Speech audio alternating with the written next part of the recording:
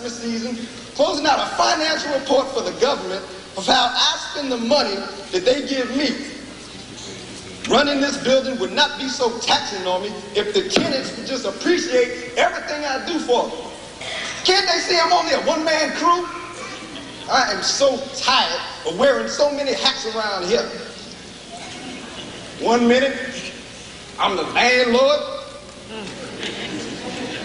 Next minute, the janitor. After that, I'm the plumber.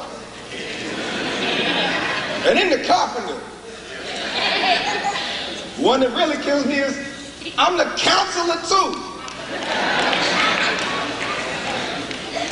You name it, I do it all. Just to keep this place livable so the tenants can have a roof over their heads. Sometimes I really feel like they think I enjoy managing this old run down dump. But little do they know, I'm only working here to keep myself from living out on the streets again. That's right, it wasn't my dream to open this place up. It was the dream of my deceased father, who was once homeless when I was a kid. My father's dream of no longer being homeless came true. It was he who opened up this, this boarding house. My father wanted to provide affordable living quarters, food, clothing, and, and assistance finding jobs for those who needed a helping hand. but I could care less whether they had shelter or not. Yes! Who in the world is it? It's me, Mr. Cooper, Mrs. Booker. Lord have mercy. Come on in. Hello, Mr. Cooper. Hello, Miss Booker. I hope you're enjoying this Christmas holiday season. Not at all. I- I'm swamped with all this paperwork. Now, enough about Christmas. Now, what can I do for you? Well, I have not such good news, Sir Cooper. I lost my job today. Therefore, I am unable to pay my rent in full. I was hoping you can work with me until I can find a job. I promise to pay you the balance of the money as soon as I get back on my feet.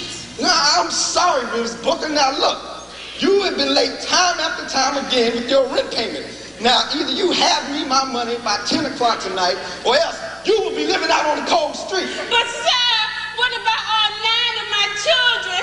I would hate for them to have to spend their Christmas holiday season on the cold streets. Read my lips and hear me clearly. No money, no room for you and your kids will be out of here for good. Mr. Cooper, I will do all that I can to get you your money by 10 o'clock. What, what is it with these tenants? Always coming to me with these sob stories. Always complaining. You know what I'm talking about. Talking about this is going wrong and that's going wrong. I'm so sorry, sir. Could you please work with me until I get back on my feet? Or, I'm sorry, sir, I don't have any of your money. Or, I don't have enough to pay my rent on time. What is this? A handout? It takes money to run this place. Repairs are needed to be done everywhere. And who do they think must pay for it all? Me? Look here. No money, no room. And to the streets, they must go.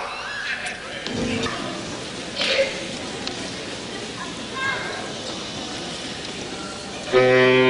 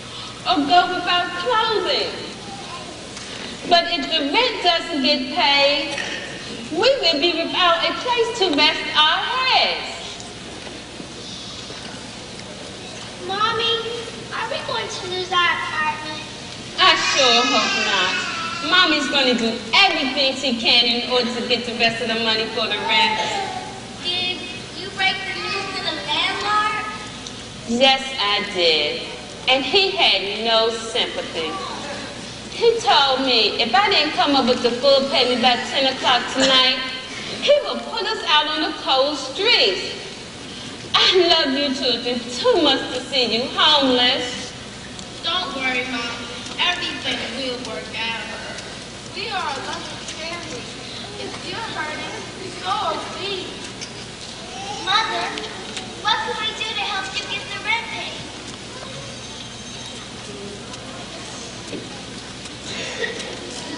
Well, although these are such wonderful Christmas gifts any mother could ever want, returning them back to the store in exchange for some money will sure go towards the rent payment.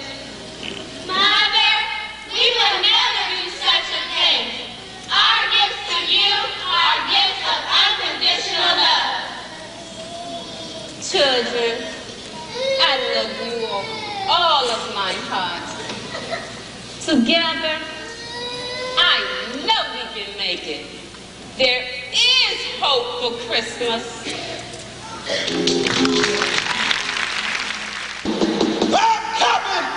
Hold your horses!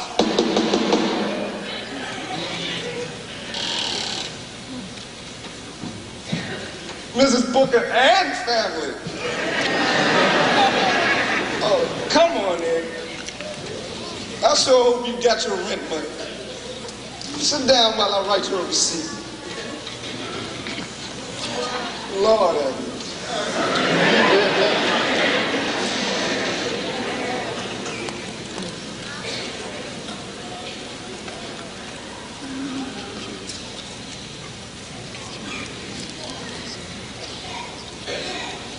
Mr. Cooper, I'm sorry to tell you I'm short by $100. A whole hundred dollars short! Mr. Cooper, please work with me. I'll pay you the rest as soon as I get it. and I'll pay you no mind.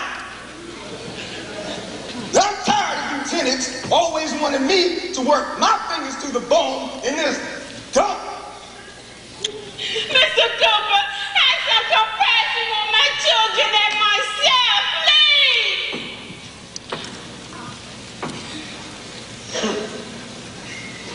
I don't care about you or your children.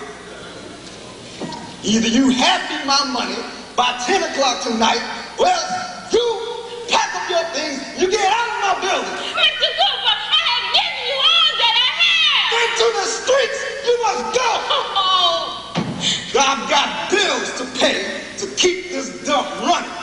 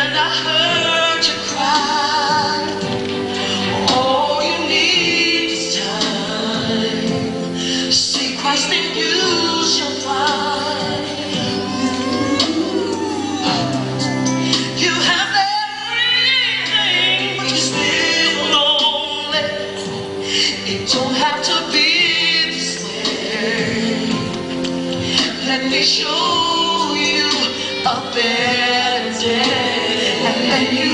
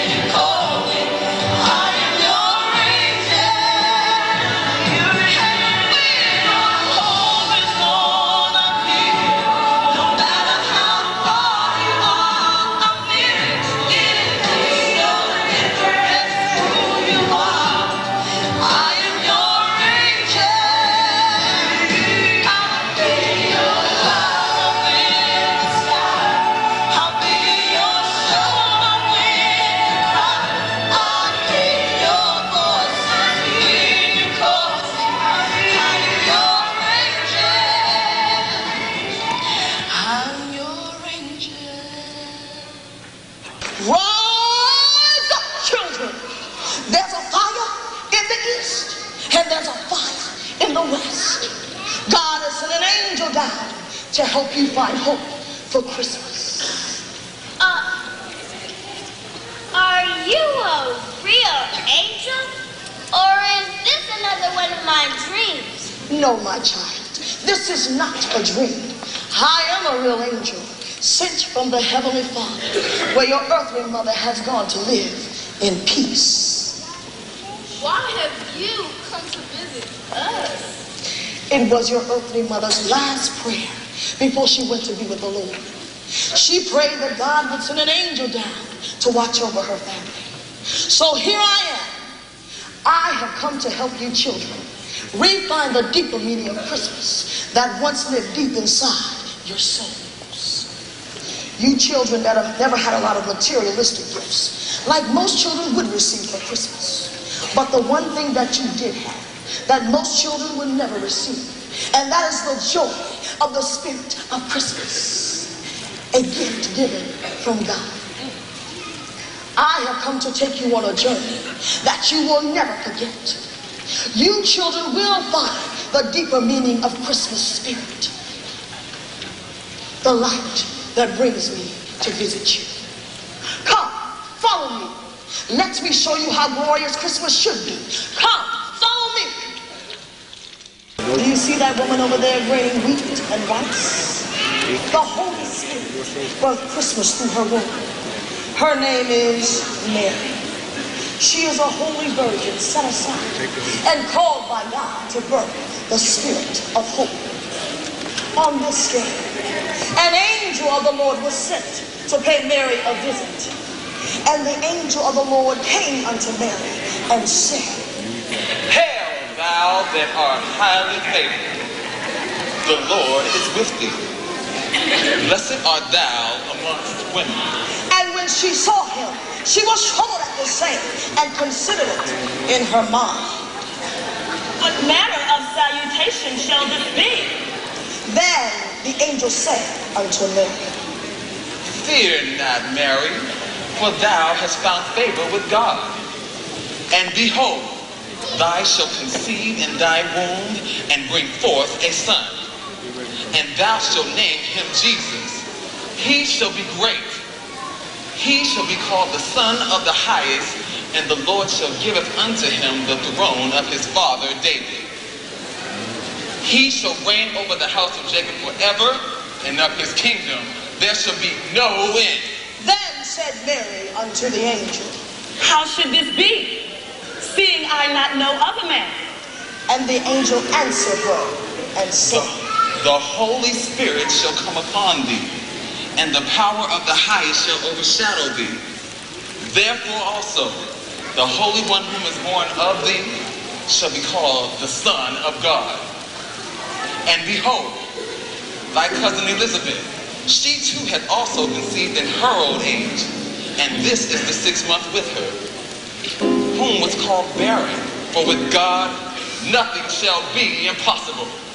Now the birth of Christ was on this wise, when his mother Mary was espoused to Joseph. But before they came together, she was found a child of the Holy Spirit. And Joseph, being a just man and not willing to make her a public example, was minded to put private. But while he thought on these things, behold, an angel of the Lord appeared unto him in a dream, saying, Joseph, thou son of David, fear not to take unto thee Mary thy wife, for that which is conceived in her is of the Holy Spirit. And she shall bring forth a son, and thou shalt name him the Son of God, for he shall save his people from their sins. Now all this was done, that it might be fulfilled, which was spoken of the prophet, saying,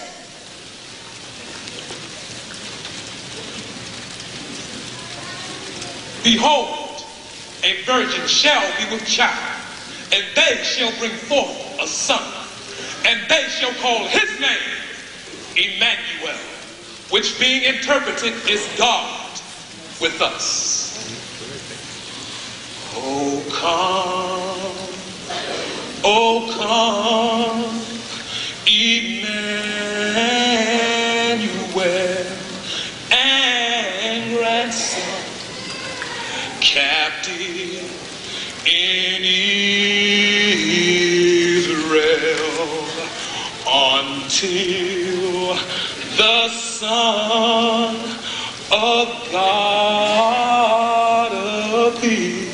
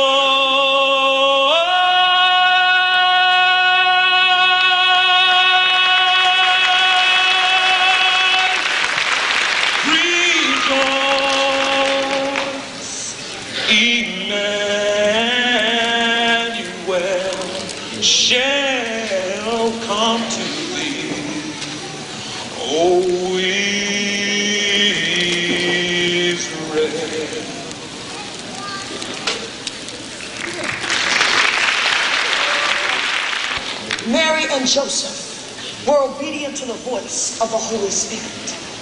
They departed the city of Nazareth and traveled to Bethlehem, where they were to bring forth the Christ child. They traveled day and night seeking shelter in the home of strangers.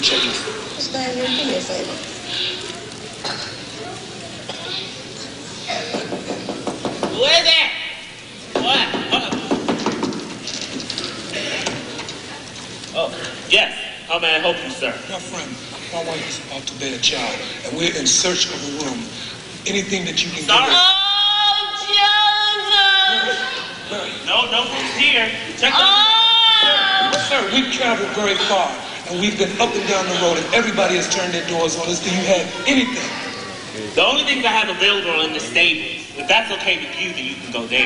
The pain is getting We'll take it. stronger. You lead the way. Here you are, sir.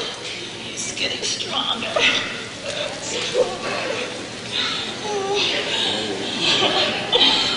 God bless you, sir. You're welcome. It's highly favored.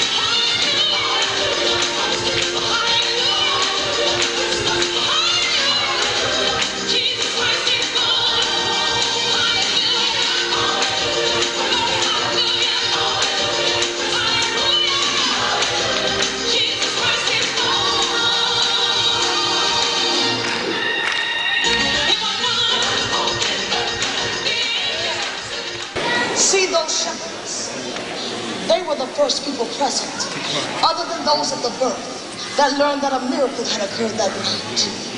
The shepherds play a significant part in the story of Jesus. They not only remind us that Jesus is a descendant of David, they symbolize the love and concern that was central to Jesus' ministry. The shepherds remind us that Jesus is the good shepherd. Psalms 23 tells us, The Lord is my shepherd, I shall not want.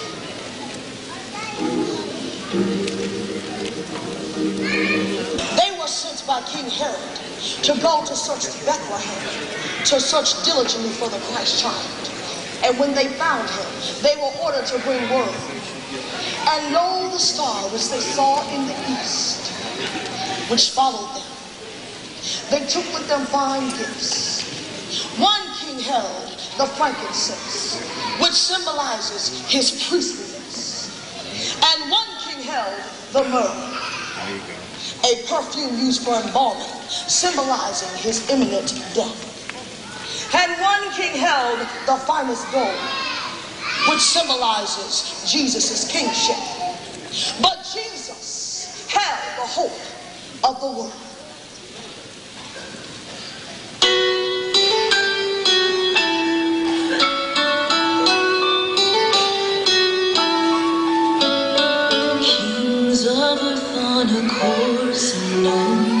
Unknown,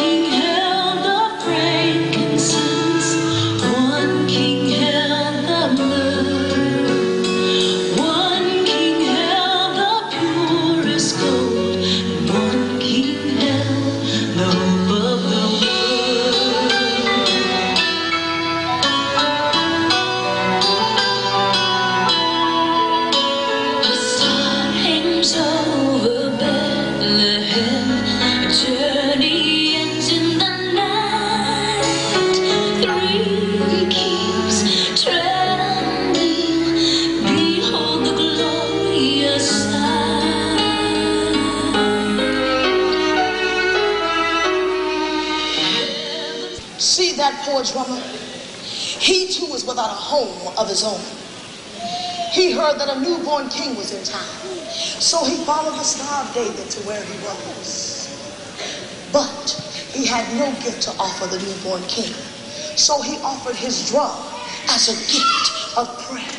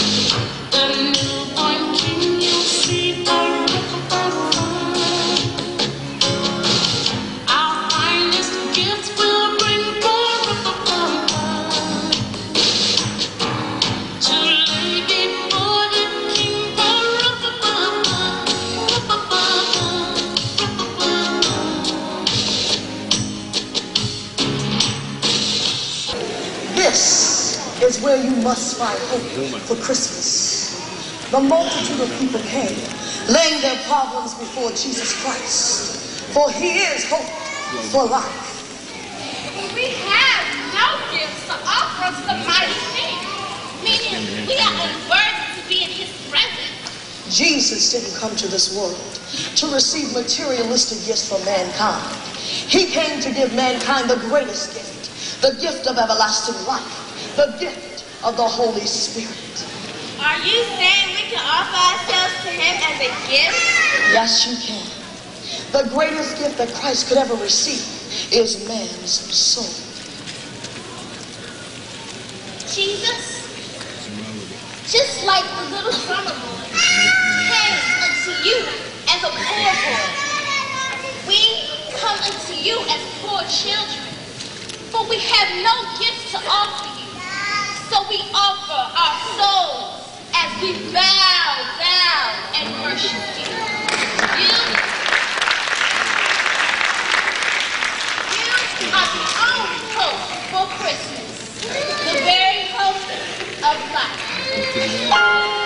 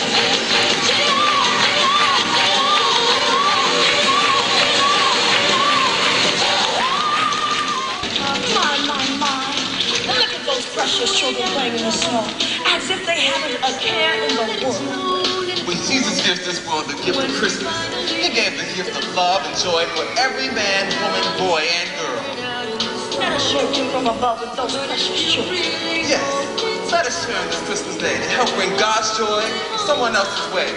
Christ was born on this day to help bring love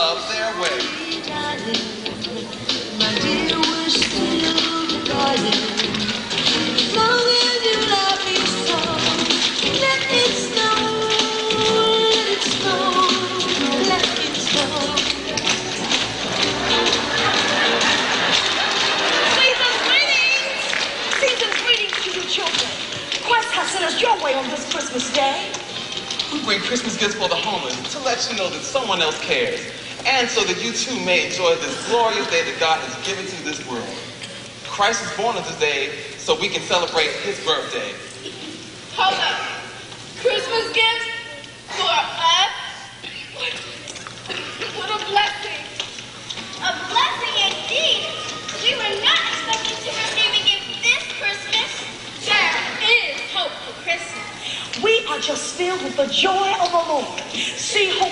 Your way on this Christmas day. Here, please take these gifts home to your parents. And don't forget to tell them that Christ loves them and he is hope for Christmas. I'm, I'm sorry, ma'am, but we will not be able to accept these gifts. May I ask, um, why not? We have no parents. Our father died a few years ago. And our mother froze to death in these cold streets just two days ago. Therefore, we are parentless. We haven't left to take care of one. What a tragedy. I perceive that your mother died of a broken heart, even more so than from the cold. I believe that she was simply devastated and felt that she had failed the one she loved the most, her children. But God is in each of us, and the same love and concern that your mother had for each of you is the same love and concern that God has for each of us. It is the same love that God had when he sent his only begotten son, Jesus Christ, to the earth to die for mankind.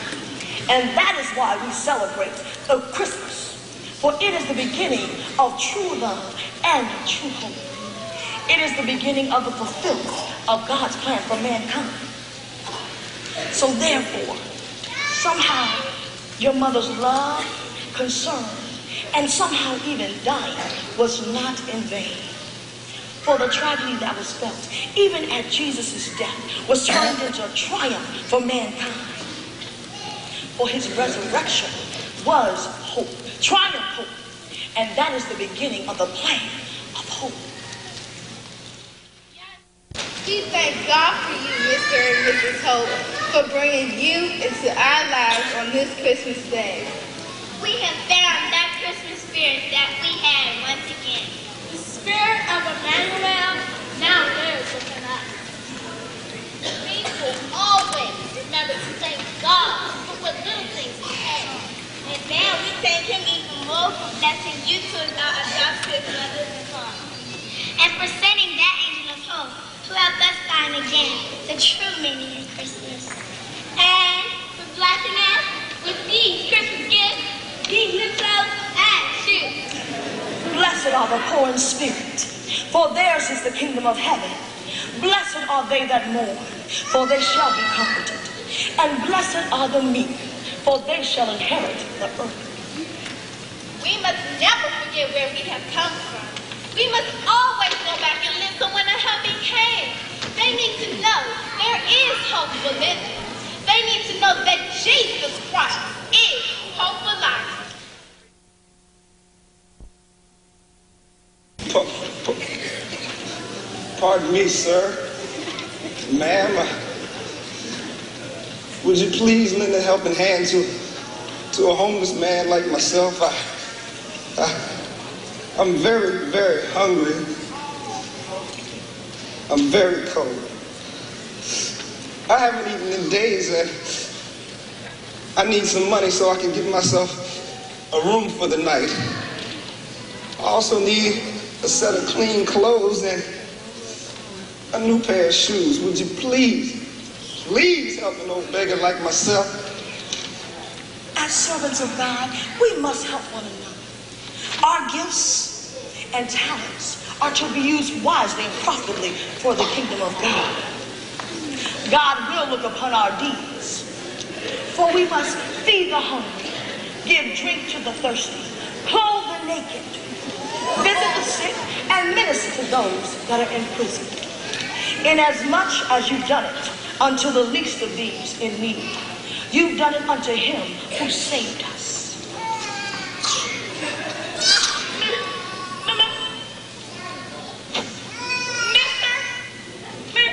Mr. Cooper? Is, is that you? Why, it, it's Mr. Cooper, our past landlord. The man who put us out on the streets? Mr. Cooper, what are you doing dressed like that? Don't tell me you are now homeless. Yes, it's me. Homeless as can be. I don't understand. You have your boarding house to support you. Not anymore,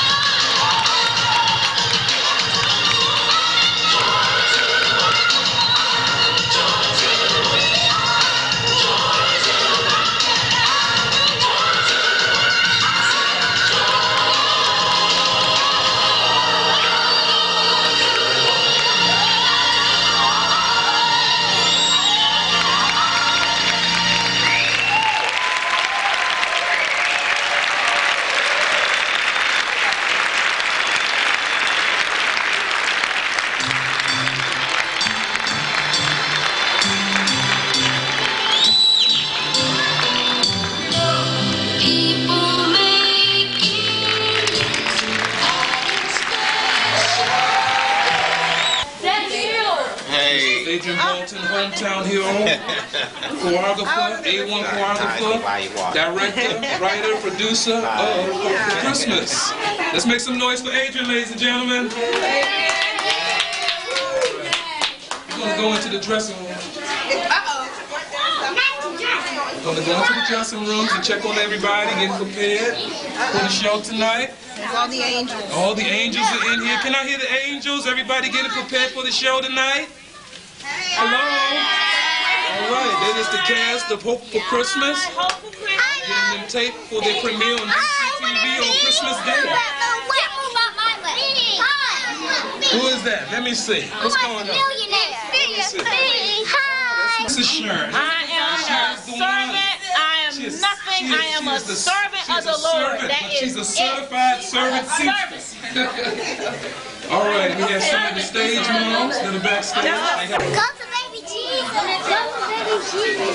And we're sneaking into another dressing room where all the clothes are made. There is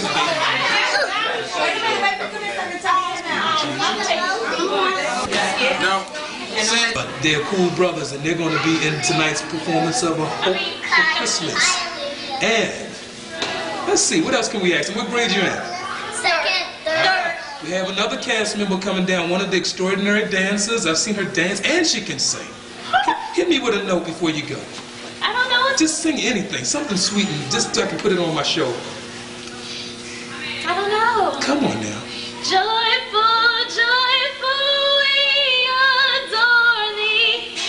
Thank you so much. She's one of the talented singers backstage with us. And as you can see, all the kids are getting prepared for the show. Well, we're going to come back to you guys a little.